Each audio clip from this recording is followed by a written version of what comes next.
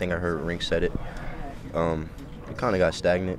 Uh, let them pre- uh, let them get us, let them uh, get them to us, and they pressured us and uh, couldn't handle it down the stretch. Uh, we got too snagged it, so that was that. How did missing CJ kind of impact today's offense? Um, his size.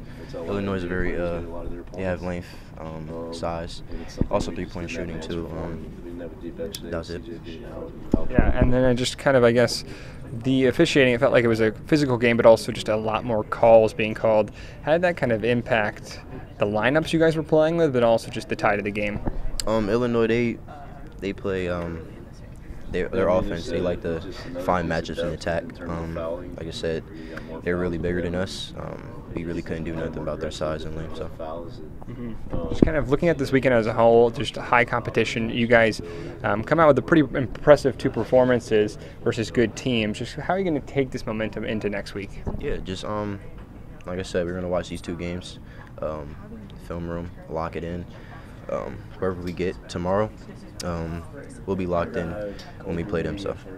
Yeah, and then I guess just kind of from your experience here at the Big Ten tournament, um, just now your second year, just kind of what have you grown in your own game, but also just like with this team this year? Um, I think just being confident. I think this is what these guys are missing, um, especially just me, uh, especially me off the bench. Um, you know, just giving that spark, um, you know, scoring. You know what I can do on the defensive end. So.